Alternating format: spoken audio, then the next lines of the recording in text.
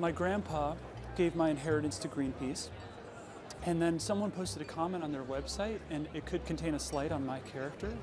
And then Greenpeace promoted the comment, and so my lawyer thinks that that's defamation. So yeah, that, that's how I'm trying to sue Greenpeace.